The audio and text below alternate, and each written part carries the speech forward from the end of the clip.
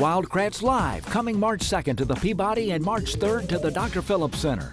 The animated Kratts brothers come to life in a classic Wild Kratts story, live on stage. Tickets available at wildkratts.com.